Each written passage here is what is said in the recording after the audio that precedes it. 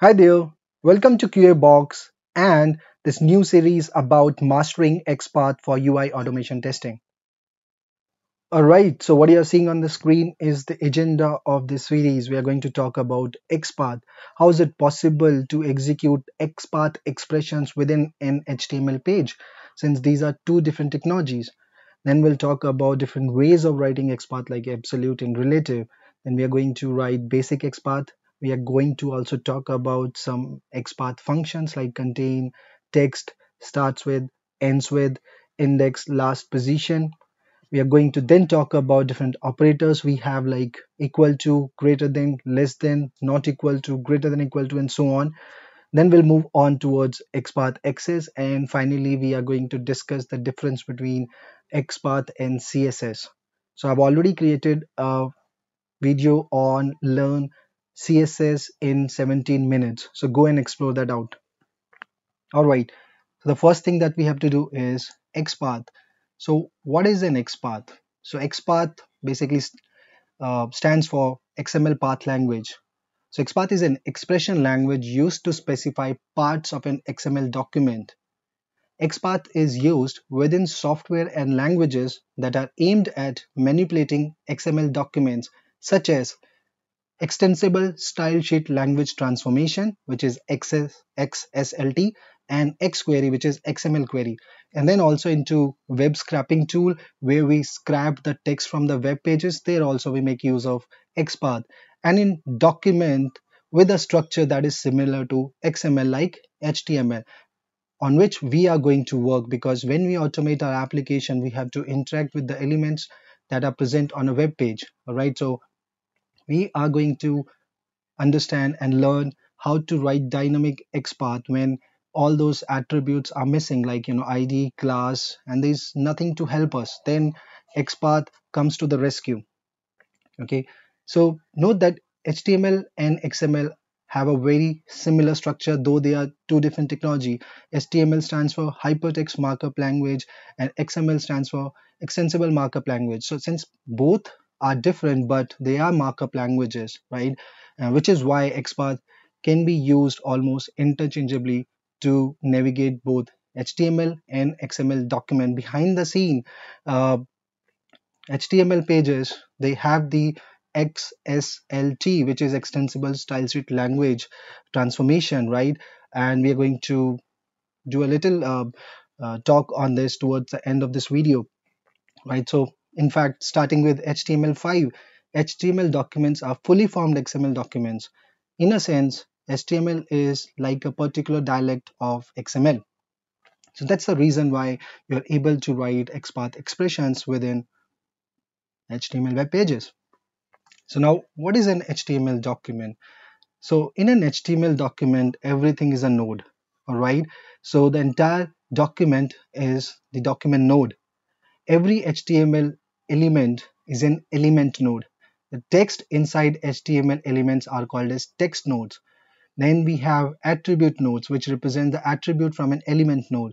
We also have comment node which are represented uh, by comments in the document. Right. So let us uh, understand this. So let me open the console and if we go to the element section, so you could see that these are all different nodes, right? So the first one or the root element is basically the document node all right? And then you have got different elements like we have head and body. And you could see that these are encapsulated inside this opening and closing angular bracket right? So this is the opening tag and this is the closing tag. And for closing tag you always have the forward slash all right? So in this html page we have these head and body tags, right? But the parent of both of these tags is the HTML tag, all right? So you could see that it's opening here and closing in here, all right? So then if I open this, right, these are the children tag, right? So this ID, div ID is equal to demo, it's a child of body and this HTML is the grandparent of this, all right? So this has two ancestors, body and HTML. Right? The immediate ancestor is called as parent. Right? Now, if I expand this further, so it further has this h2 tag and then you see the class is equal to title all right so this is your attribute node all right div and this h2 these are element nodes all right this id is equal to demo class is equal to title are attribute nodes and the text that you're seeing in here is the text node this is what i was referring to in here. All right the entire document is a document node. Then we have got element nodes. Then we have got text nodes. This is the text node. And attribute node is the attribute node. Comment node if you comment out some html tag then that becomes the comment node. All right and this is how it's structured okay? Now the node in such a tree have a hierarchical relationship with each other like i just explained. So if you consider this is the node in context currently right? So this is the parent okay? This node has parent c c has parent a. Now i has got this parent and c and a will become the ancestor all right so parent is also an ancestor but immediate parent we usually refer to that as parent and any parents that the that parent has they become the ancestor of the context node. So the nodes at the same level means if you look at f and g they have the same parent e. So f and g are siblings okay? And then you have the immediate children as child and then the child of child they become the descendant for this that's a kind of relationship that is being followed. Now we understand that there is there are nodes there are different types of node and there is some kind of relationship between these nodes. Now we have to let's say find this m right? So you have to traverse this node to reach to this. And for that what we use is we use the expressions. And some of the common expressions mentioned in here are you could see node name or you can also call these as tag. And let us see an example. So on the console I'm pressing Ctrl F. And if you do a forward slash and write HTML okay? So now you could see one of two are being selected right? This is the element node and the other one is this right? So here also we are referring to this value right? So now look at this. So it basically in this search you can search for string. Selector is your css selector and xpath. Okay? So this is how you have to so let's say if you have to find this particular div all right? So you have to start from the parent. So you're going to write html okay? Forward slash then you come inside body okay? And then you mention div all right? So it is telling that there are three divs so that's how we we traverse right? So we we we have a starting point right?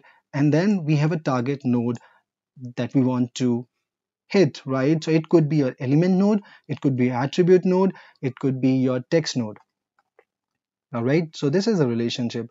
So the next thing uh, and here are all the different uh, expression that we are going to use. So beginning single slash indicate a select from the root node. All right subsequent slashes indicate selecting a child node from the current node. All right so we are selecting the child from this current node.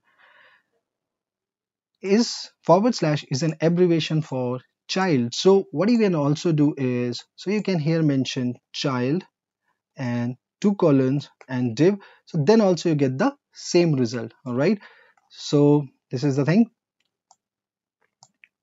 Two forward slash all right? Select direct and indirect child in the document from the current node all right? This gives us the ability to skip level. So whenever we use this we usually are working on absolute xpath whenever we go for two forward slashes we are working with relative xpath all right? And this is an abbreviation of descendant or self. So all I could do is now two forward slash and I can say div. So you could see that I find five divs all right? And if I use the this particular syntax all right then also it would do the same right? Because it's an abbreviation. Usually when we work we go for abbreviations right? We don't uh, use this. So then asterisk select all the elements all right? All the nodes basically. I'll not use the word uh, elements because element is a node and we have other types of nodes as well which i just explained all right? So it select all the nodes. When you're working in html or xml everything is a node all right? Dot select the current context node all right? A single dot is an abbreviation of self node all right? Then you have dot dot. Select the parent of the context node all right? So we are going to see that into action in upcoming videos. We use at to select attributes of the context node right? And this is an abbreviation for attribute and then two colons. Pipe. Pipe chains expressions right? So these are all expressions we were working here. So pipe chains expression and bring back result from either expression. Think of a set union then attribute value select node with a particular attribute value. Text is a function select the text content of a node. Or we can say select the text node contained in that element. Now the thing is you can also write xpath in the browser console right? And the syntax that you have to use for that is and let us first find an element html and let's say body all right so we have got one on one of one because there's only one body tag in here so what if you want to run these uh, queries within your console so how are you going to do that so simple all you have to do is dollar x and then here herein you have to pass in the XPath. Now you could see that this is returning us an array and we know how to work with arrays. So I've already created a series on JavaScript for beginners. So there's only one element. How are we going to access it? Using the index. So when I say the zero, it is returning me and you could see on the left hand side, the whole body is being selected. All right. And hit enter. Now the body tag is being returned to you all right so if you are working in selenium or any other tool when you know you use javascript executor and you the only way to identify an element is through its xpath right? Then you can use this as well but not this exactly. I'll tell you what you have to use when you want to execute your javascript code within the web page. This syntax is applicable when you write it inside the console. So wait and watch for that. And this is where you know you can write your javascript code with the xpath also all right next is xslt so that stands for extensible style sheet language transformation xslt is a language for transforming xml document into another xml document one or other format such as HTML. That's the important thing. So our browser implement XSLT version 1 and that is the reason we can only use functions defined in XPath 1.0. So I have added a function from XPath 2.0 and that will not work in the browser and it will not work in the Selenium um, code also if you are working on Selenium. All right, that's why I have covered this topic. So XSLT uses XPath to identify subset of the source documentary and perform calculation. Right, so it can identify the control as well as perform some operations. And we are going to see that for example there's a table and in that there's a column when age is mentioned. So you want to identify all the rows when the value of age is greater than let's say 20 so that's an operation. We can perform that calculation as well with the help of xpath operations so xpath also provides a range of function which xslt itself further aug augments so excel st1.0 uses xpath 1.0 all right while xslt 2.0 uses 2.0 and 3.0 uses you know 3.0 or 3.1. Browsers do not yet support XSLT 2.0 natively. All right, that's very important. So now, how can we still implement this XSLT 2.0 support in the browser as a developer, right? So you are going to use Saxon-CE is it's a JavaScript based XSLT 2.0 implementation. Frameless is another more lightweight XSLT implementation in the browser supporting large part of XSLT 2.0 and XPath 2.0 functionality, but natively browsers don't support it. So as a tester, if you are writing the XPath, make sure you use the functions defined into XPath 1.0. Otherwise, your code will not work. All right. So that's about introduction to XPath. Thank you so much.